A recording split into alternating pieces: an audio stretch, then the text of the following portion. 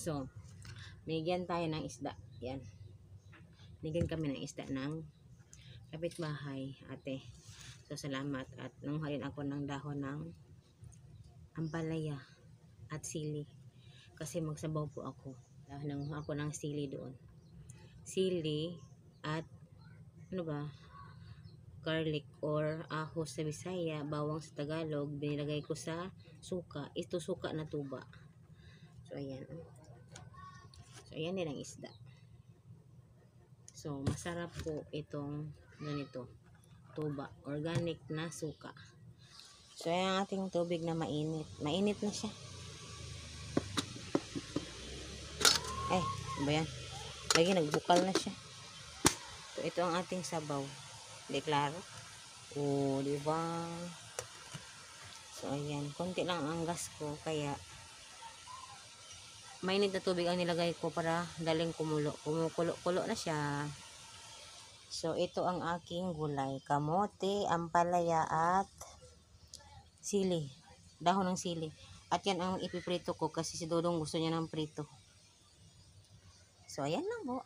So, uminom na naman ako ng Robitussin. Kasi inuubon naman ako ng sobra. Tapos, ang ang pawis ko ay malamig. So, ngayon po ay hapon na 3.40 na. So, may dumaan na umiiyak. Hindi ko alam kung ano nangyari. Pero ayun, 3.40 na at malamig po ang aking pawis. Kaya inuubo ako. Hindi ko alam. So, ayan ang ating niloloto.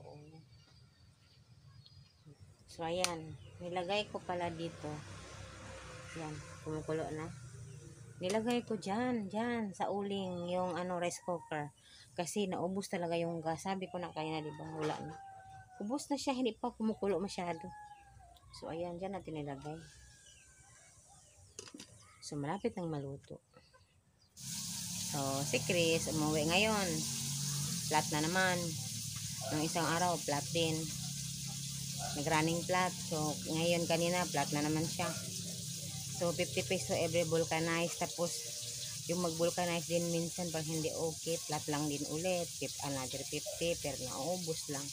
So, hintay na ako this month makapag, makapag-CE para makabili ng bagong gulong. Sa unahan, yung sa likod na gulong, ano po yun, na, napalitan dahil nagbigay sa amin ng yung blessing si Ma'am E. So, So, pero yung gulong sa unahan ngayon, yun na naman ang problema. Pero, kaya lang yan. So, ayan. Hindi ako nagre-reklamo, nag-share lang ako ng karanasan. Katay manok kasi walang ulam. Wala kaming ulam ngayon. Ngayon po ay 7.30. So, ayan. Para sa ero. Aso pala. Alam mo, this week, tatlong beses na kami nagkatay ng manok. Ayan. Kasi palaging walang ulam. So, ayan. This week, Ito, ito, channel sa katong sa to. Itong si Mm. nga sa manok. three times na kami nagkatay ng manok. Isang tandang, dalawang babae. Yung birthday ni Chris nung October 28, ta- dalawa din doon. Lagi kami nagkakatay ngayon kasi walang pamili ng ulam. So, yun ang ating bahay. Grabe. Grabe ang dingding namin. Yan. Dati talaga itong kusina namin, hindi kami makapagluto pag ulan. Kasi yung bubong na yan, yung bubong na yan, yan, yan, oh. Full talaga yan, bu, ano, makikita mo ang, ang langit, ang taas. Pag umuulan, umuulan din. Pero pag, ano, yung nabenta namin yung baboy namin, last, last talaga. Bumili kami ng yero. Pero ngayon, yan na naman ang tumutulo dyan. oh. Kasi yung sin na yan, ilang beses na yan ginagamit. Hindi lang, ano, Chris, no? Kaning sin di rin, no? Ikapilan na igamit, no? Oo. Kasi gibul kasil na, namo, na namin yan. Pero hindi pa din. Umiipikto. Pag mag-ulan, tutulo pa din. So, ayan, hindi yan sa amin. Pinahiram lang yung sin na yan. Pero hindi na kinuha. Pero ilang beses, ilang ilang gamit na yan. Marami na bang butas-butas. So, ayan. Yan lang po. Hello, magandang hapon. Haggard look. Tingnan nyo bang mukha ko. Kagagaling ko lang naglaba. Konti lang naman.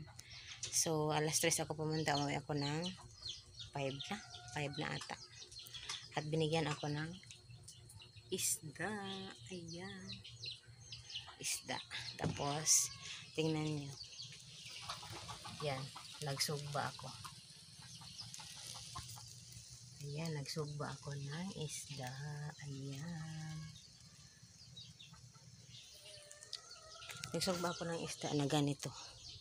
Kilala niyo yung isda na ito kasi ako taga bukid ako. Wala ako masyadong kilalang isda. Sa amin ito, pirit. Yan, pirit.